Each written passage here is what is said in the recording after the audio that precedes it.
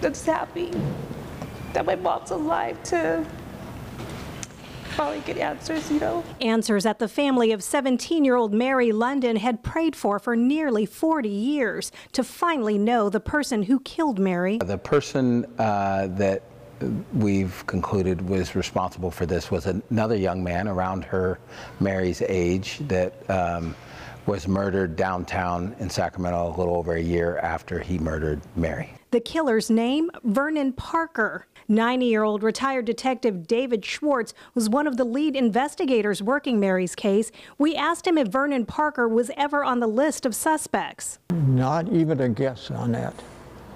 You always guess, you know, say, well, is it somebody that she knew or was she, but apparently this is completely off the wall. Parker was never even looked at as a suspect. Whether they knew each other or not, investigators will likely never know at this point.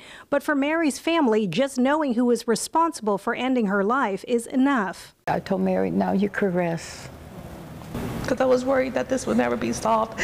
Very, very satisfying to me but then, of course, the main thing I thought about was the poor family. It was in 1981 when Mary, a sophomore at Sacramento High School, was found in what was then a rural stretch of San Juan Road in North Sacramento. Her sister, Esther Schneider, remembers seeing it on the news. I would turn out Channel 4, I was just listening and stuff until I heard uh, Mary.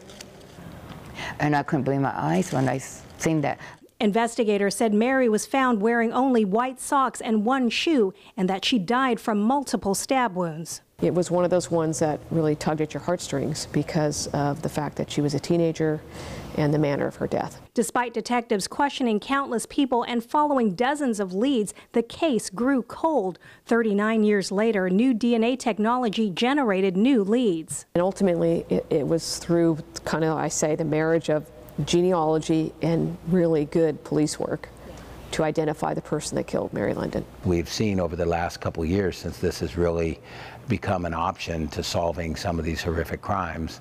And the solving of these crimes gives solace to the families left behind who are grateful. You'll always be in my heart, always be in my heart, you know, that you guys um, solved everything. Even she's not here no more, but she does have a family.